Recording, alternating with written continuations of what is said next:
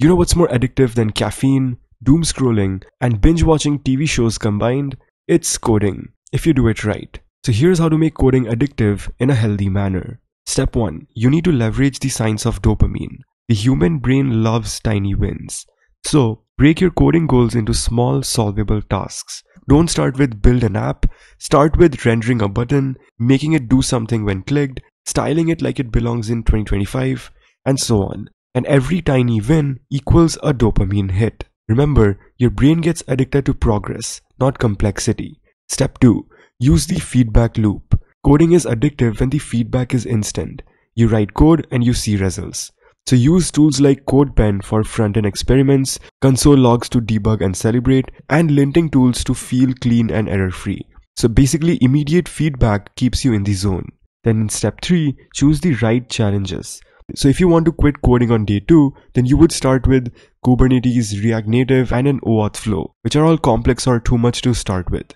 But if you want to stay addicted to coding, then start with building a portfolio page using HTML and CSS, a to-do list or calculator using Vanilla.js, or pulling cat-related facts from a public API. Remember that simple is not equal to boring. Simple is equal to sustainable. Step 4 is realize that personal projects make it stick. So textbooks don't create passion, projects do.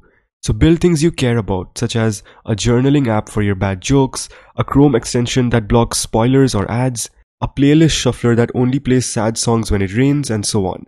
So basically personal relevance is equal to emotional investment, which is equal to habit forming. And all of this makes the entire process more fun. Step 5 is join the coding ecosystem. So if you want to code more often, surround yourself with people who also think coding is a very fun activity. You can join Discord servers, Twitter or Reddit dev communities, local or virtual hackathons. Basically, public accountability and shared struggle makes it feel less like learning and more like playing with friends.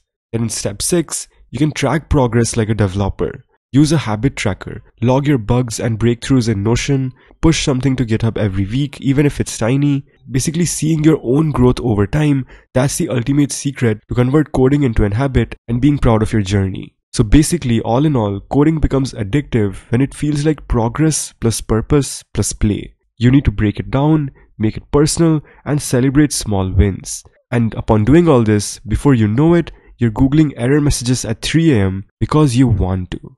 So code small, code often, and code like it's a side quest. If you have any other suggestions to make coding more addictive, then I would love to read your thoughts in the comments section.